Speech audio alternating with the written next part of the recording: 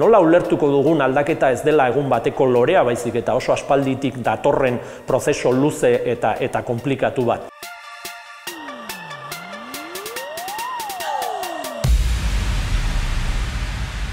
Dena azkar doan garai hauetan oso importantea da noizean behin gelditzea eta begirada luzea erabiltzea.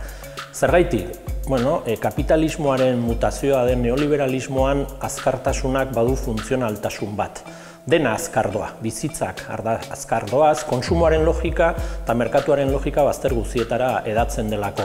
Logika horren arabera beti korrika joan behar da, beti azken produktua erosi behar da, eta politikan ere beti azken produktua kontsumitu behar da. E, horrek e, lainotzen du gure gogoa, horrek zailtzen du e, realitatea ongi ezagutzea, realitatea ongi aztertzea. Horregatik, noizean behin beharrezkoa da gelditzea eta geure buruari galdera batzuk patxadaz egitea. Esate baterako, nola zeuden gauzak duela urte batzuk, nola geunden, nola zegoen ezkera bertzalea duela hogei urte, nola iritsi gara egoera honetara, eta azken finean e, egiten ari garen bide edo bidaia horretan noragoaz. Hori oroitzea ere oso beharrezkoa da, zerumugari begira jartzea beharrezkoa da. Esan bezala, garai likidoetan bizi garelako eta garai likido hauetan ematen duelako soilik gertuen daukagunari erreparatzen diogula.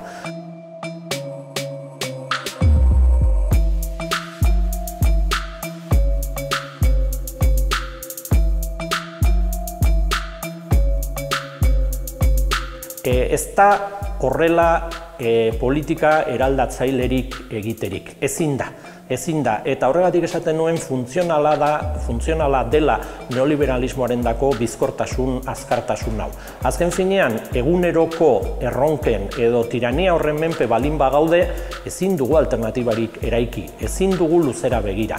E, eguneroko erronka horiek jaten gaituzte, eguneroko erronka horiek e, hartzen dituzte eta e, erretzen dituzte gure energia guztiak, eta alakoetan eta Nafarroako ikuspegitik era berezian beharrezkoa da galderak bestela egitea. Ez gelditzea gertuen ikusten dugun horren azterketan, aratago jotzea. Eta aratago jotzeko eta aratago joateko ezinbestekoa da horrelako ikuspegi estrategikoa izatea. Behar bada, ikuspegi estrategikoa oso hitz potoloa da, hobeki ulertzen dugu denok begira da luzea, edo argi luzeak piztu behar direla esaten baldin badugu. Beraz, hori ere mundua aldatzeko modu bat delako e, eguneroko erronka hoietatik aratago joan behar dugu eta argi luzeak pizteko garaia da.